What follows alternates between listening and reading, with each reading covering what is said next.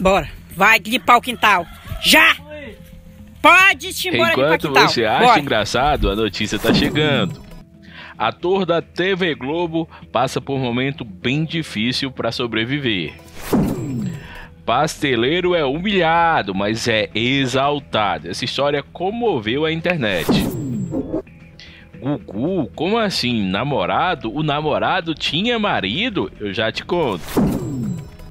Eliana do SBT é confirmada com a Covid-19. Isso mesmo. E ainda tem Tony Ramos desabafando sobre internet. Peraí, calma, calma, já te conto.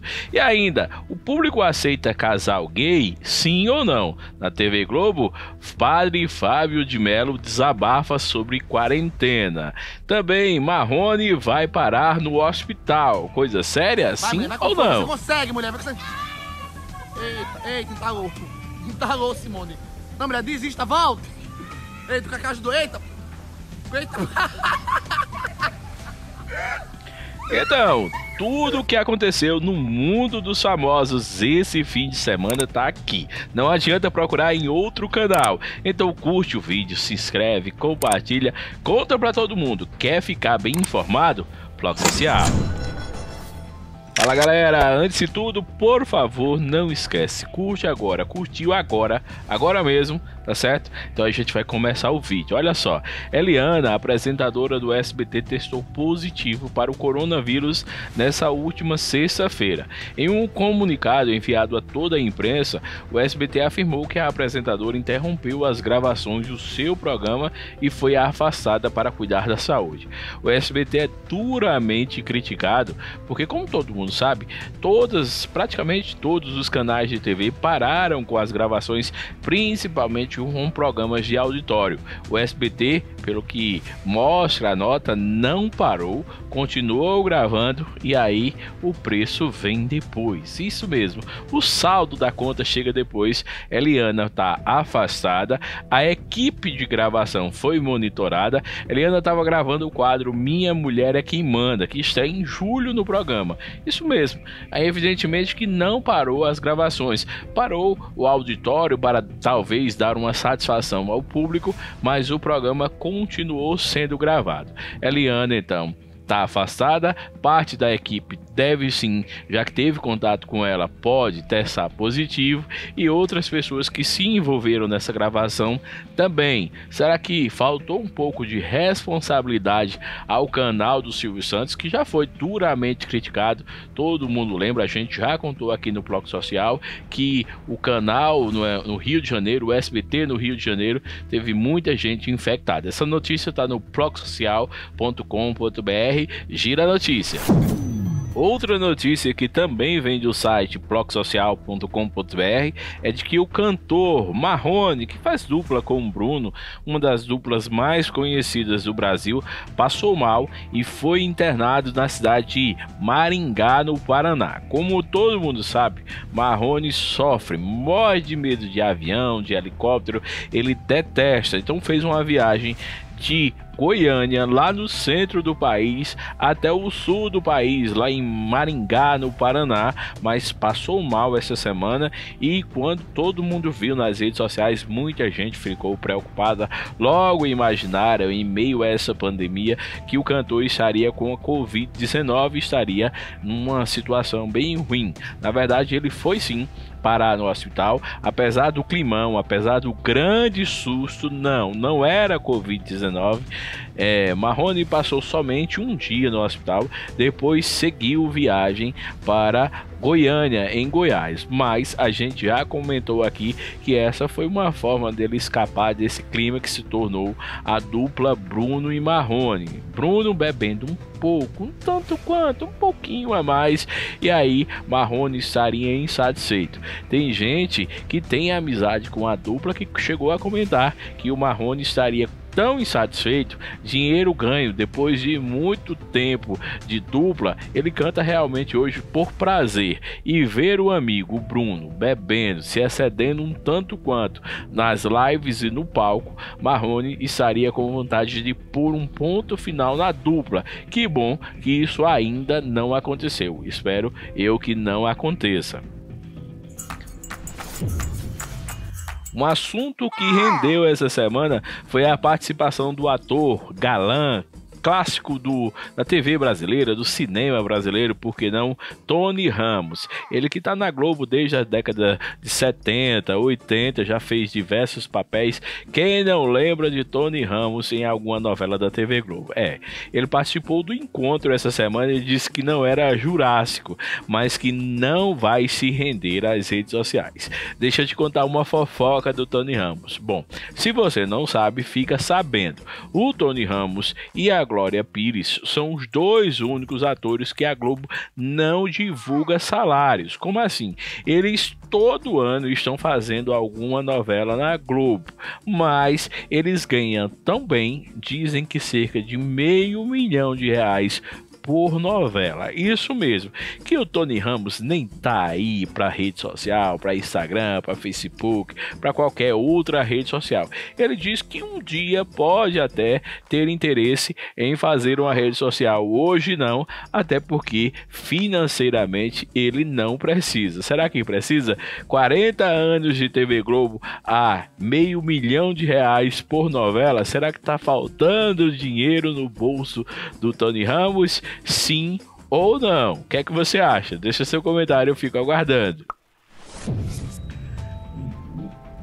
Outro assunto que rendeu foi o padre Fábio de Mello essa semana, que também, em época de pandemia, em época de coronavírus, está todo mundo participando de live.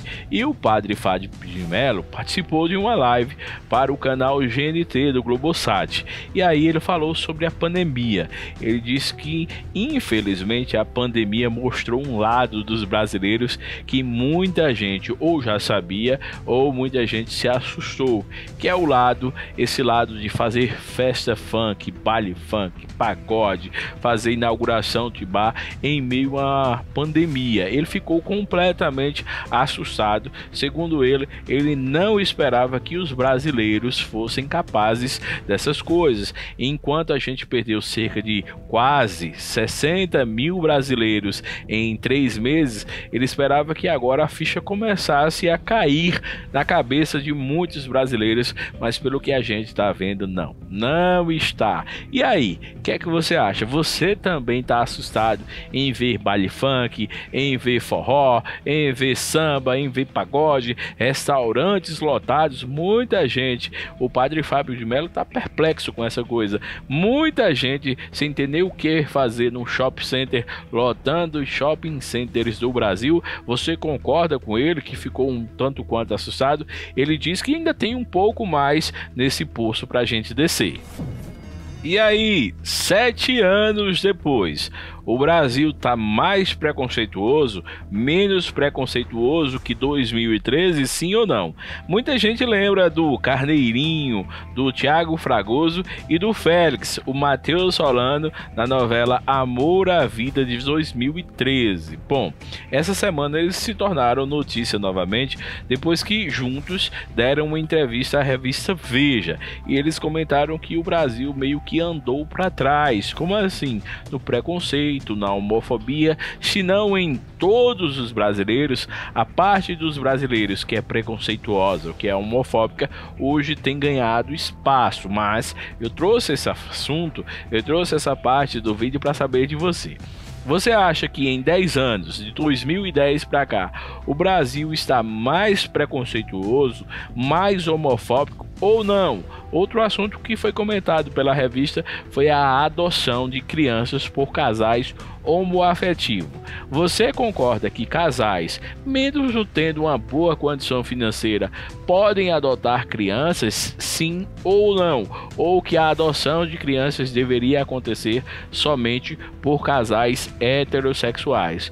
Eles comentaram: o Brasil meio que andou para trás, as pessoas homofóbicas ganharam espaço na mídia, ganharam espaço na imprensa, hoje falam mais, hoje fala-se mais, discute-se mais sobre o assunto, mas por isso mesmo eu quero saber a sua versão. Todo casal hétero ou homoafetivo pode adotar crianças? Sim ou não? É um assunto polêmico, eu quero saber a sua opinião, então deixa-se seu recado. Mas vamos falar de polêmica, que polêmica a gente gosta. Olha, muita gente lembra do Tiago Salvático. Ele ficou conhecido em todo o país após assumir para todo mundo e até entrar na justiça querendo parte da herança do, segundo ele, seu ex-namorado, ex-marido Gugu Liberato. Pois é, essa semana apareceu um marido para o Tiago Salvático. Talvez por isso ele tenha desistido dessa coisa de herança do Gugu Google. Olha só, apareceu o Guilherme Stangelin. Ele deu entrevista ao Léo Dias e ao site Metrópolis falando que não conhecia essa parte, essa fase do Tiago Salvático em que ele namorava o Gugu Liberato. Ele dormia, eles tinham uma relação lá na Alemanha e o Guilherme nunca viu foto, nunca viu no celular do Tiago Salvático, o esposo dele, ele tinha acesso ao celular do Tiago, nunca ouviu falar no Gugu. E para ele, essa ação do Tiago Salvático de querer entrar na justiça, querendo ser reconhecido como marido do Gugu, não tem outra coisa senão a intenção de ganhar dinheiro. Muita gente ficou interessada nessa história. Vale lembrar que o Tiago Salvático entrou na justiça querendo a herança do Gugu, mas depois desistiu, não informou por que estava desistindo, mas agora muita gente sabe então que o Tiago, na verdade, tinha um marido e o marido não gostou nem um pouco de saber que o seu esposo estava lá querendo ser reconhecido em outro amor. Outro assunto que rendeu essa semana foi essa história que eu vou confessar para vocês que eu chorei bastante quando eu fiquei sabendo. O Rafael Daiane é um pedreiro, era pedreiro, pintor lá na cidade de Marília, no interior de São Paulo. Ele, com essa pandemia, inventou de fabricar salgados e vender. Ele recebeu uma encomenda de 50 salgados semana passada e aí porque atrasou uma hora, eram 50 salgados, ele estava começando. A pessoa que encomendou os salgados não quis mais, humilhou, disse tudo. Olha aí a postagem que eu também vou colocar no Facebook, arroba Social, para você acompanhar lá.